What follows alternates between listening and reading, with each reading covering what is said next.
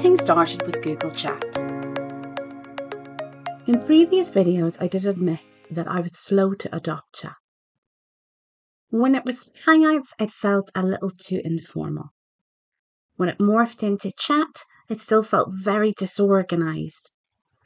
But when rooms became spaces, the application really started to make sense for me. Last year, Fintan investigated the functionality of chat and compared it with one of the market's biggest IM applications out there, Slack. Asking which is better for business, he concluded that what it really boils down to is whether or not having a possible extra handful of applications is really worth the cost invested in a standalone app, as opposed to using the already built in functionality there in the Google Workspace. If you are someone who wants to take your first steps into using instant messaging to up your productivity or reduce your spend by unlocking the functionality that already exists in your Google Workspace, then let's get you started on that journey.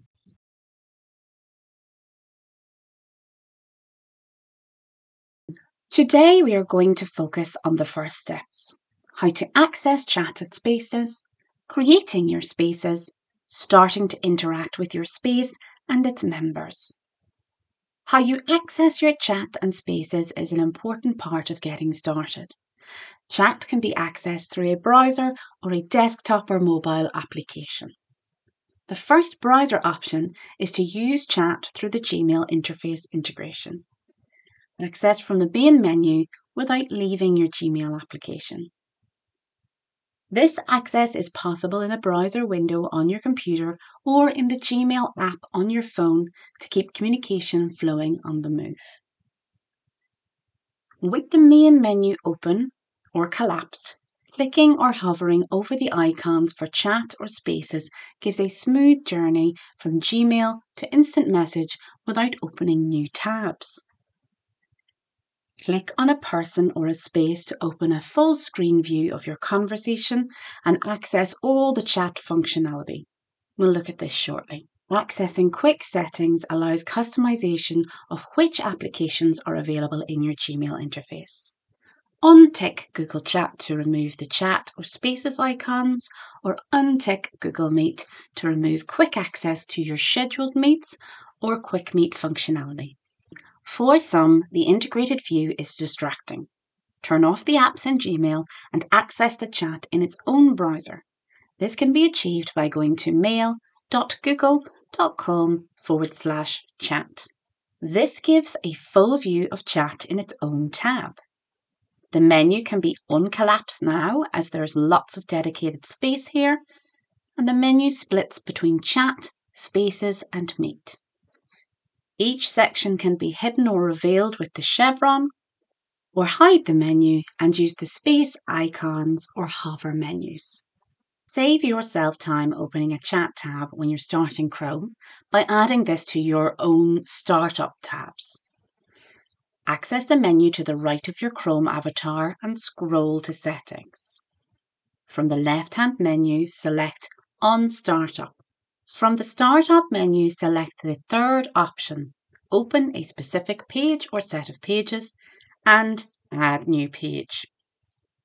In the pop-up, add the chat URL and click Add. Chat will now be auto-opened along with any other tabs you've requested when you start up Chrome. If you don't want to add yet another tab to your already busy browser, you might consider downloading the native app for your desktop. From chat.google.com forward slash download, you can install this application, but make sure your device is running Google Chrome 73 or upwards, that the Chrome browser is open, and if you're having trouble completing the installation on your work or school account, contact your Google Workspace administrator. The interface is identical to the web browser chat application. However, it is accessible from the taskbar once open and can be pinned to the taskbar for quick access. Now, the important thing here is to remember to launch the application as you begin your day. To ensure a smooth start, you can automate the application opening. To do so, open a tab in Chrome in the Omnibar and type Chrome colon forward slash forward slash APP. Right click on Google Chat and select Start App when you sign in. Lastly, for on the go access in a standalone application, download the Google Chat app from App Store or Google Play. The application opens in the chat menu with pinned chats at the top, followed by all other chats in order of most recent activity. Click the Spaces icon to see a similar layout of all the spaces you are a member of. Easily flip from chat to files to tasks. From the hamburger menu, access notifications, chat settings, and general settings. Now that we have considered where we will access our space, let's get on with setting one up, understanding who can do what in a space, understanding how to make a space private or discoverable, and adding members to your space, including external members, before personalizing your settings. I'm going to set up my space here in the Gmail integration, as this is where I like to work on spaces. The steps are the same across all the different access points. Click the plus button to start a new space. Select Create a Space and a pop-up window will appear with all the custom elements that you will need to either add or choose to set up your space. Firstly, give your space a name. There are generally a few types of spaces that teams will create. A team space to discuss team relevant issues, a water cooler space to allow for more company wide communication or replicate those water cooler moments, a project space, a project specific space with interdisciplinary members, or an announcement space, an organizational communication space where posting is limited to space managers. This functionality is due to come online from May. If you are creating many spaces, you might consider using a numeric or alphabetic indication to manage similar sounding spaces, or use a year or quarter naming convention. Next, add a description for members of your space to understand what the space is about. This is most important if you are creating discoverable spaces. Now you can begin to add members. Let's take a moment to understand what roles there are in spaces and what functions are available to these roles. There are currently two roles in spaces, Space Manager and Space Member. As you might expect, the Space Manager has the most functionality. Space Managers can add new members, send a message to all members in a space using the at all function. They can delete messages and manage the chat history settings, and a Space Manager can give additional manager permissions to other members. They can also update the space's access setting and remove members.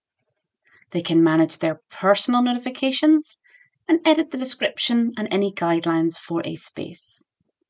They can pin a space in their own left hand navigation for ease of access.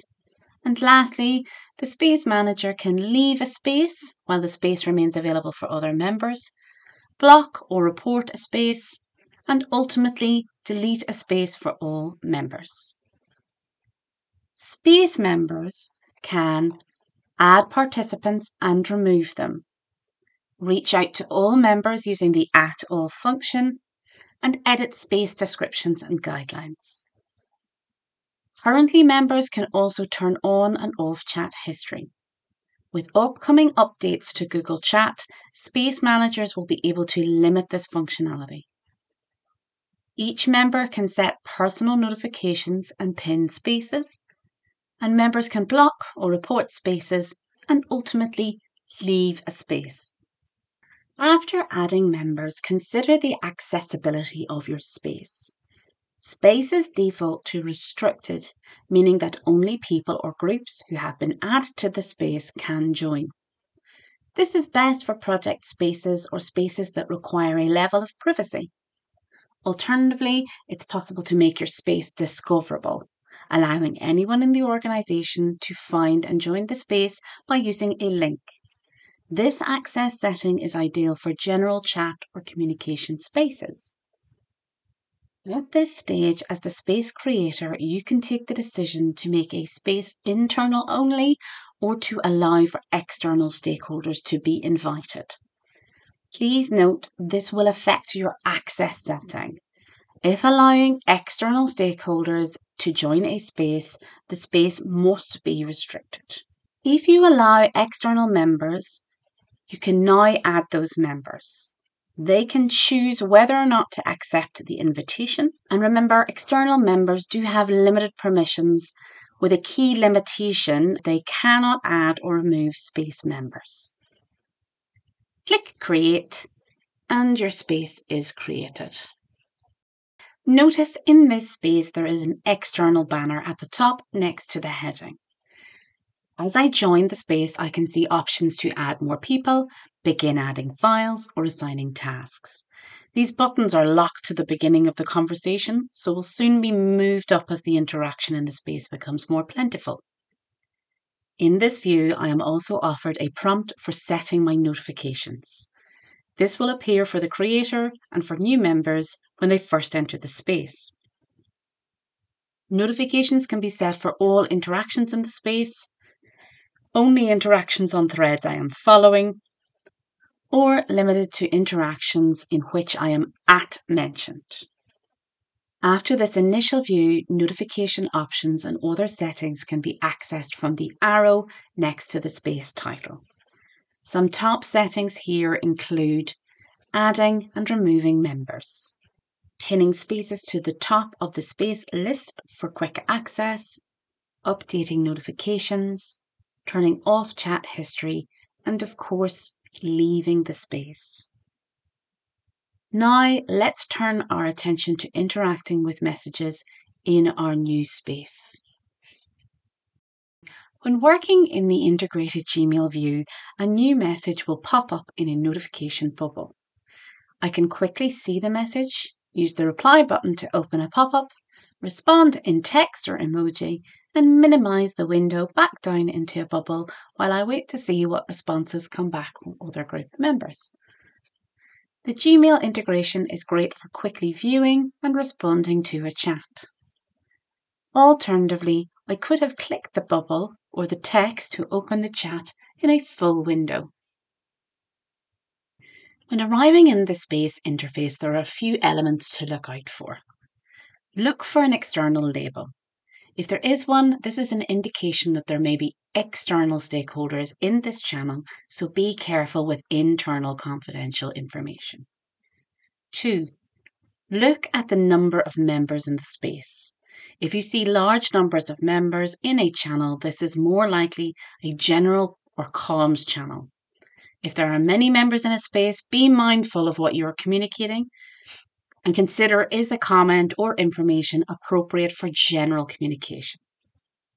Three, look for the unread marker. This indicates that there are more recent messages that you have not seen yet. Jane is replying to a message.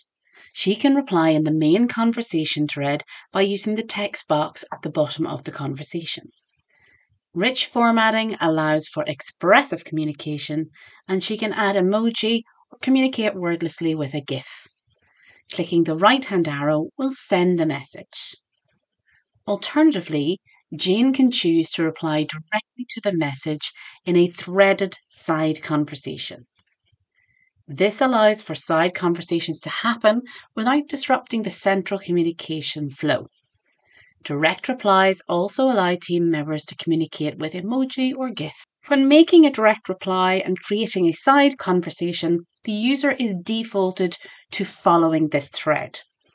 This allows the user to be notified when more responses are generated on this thread. If Jane has no further interest in this thread, she can simply unfollow, but if she continues to follow the conversations, she can see new replies indicated by the new replies icon and will potentially receive notifications if she's selected that notification option. In addition to the chat thread, Spaces has a file inventory, providing a central repository for all files added to the space. Files can be added in the conversation or directly here. Also, Members can view all tasks associated with the space. Adding a task to the space will allow the member to give it a title and a description, set a deadline, and assign to a member within the space. Now you have mastered the top functions to create spaces for communication, know how to make these internal or open channels, interact quickly and securely, access shared documents, and add tasks assigned to space members. As always, let us know how you are using chat spaces and keep an eye out for more videos as we explore further in depth the functionality in Google Chat and Spaces.